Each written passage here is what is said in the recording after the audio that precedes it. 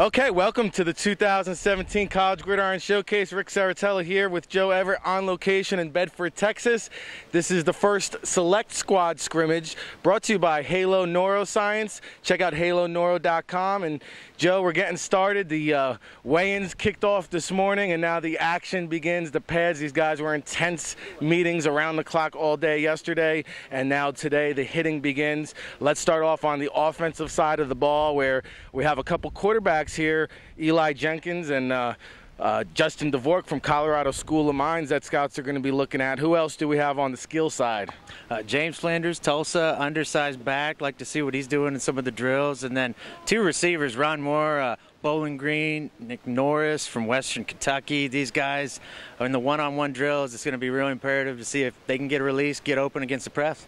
And one of my favorite prospects in this whole event is going to be number 21 out of Brockport, Dan Andrews. You know, that's my sleeper in this year's College Gridiron Showcase event. We're really looking forward to what that guy brings. And then talk about a revolving door. Landon Leckler, North Dakota State. This guy's name was yelled about every five minutes. All the teams wanting to talk to Landon Leckler. Now, defensive side of the ball, Joe, who do we have for standouts? It's all about Andre Pipkin, uh, this Texas Tech kid. He could blow this event up. If he starts jabbing, punching, and sliding against these linemen, uh, he could be one of the biggest standouts here. And then uh, Georgia Tech, P.J. Davis, the linebacker, he's a thumper. Uh, he could blow some people up in this event. So those are the two I'm really fired up to see. I know you like the safety from Emporia State, Trey Dickerson. You had a chance to speak with as well.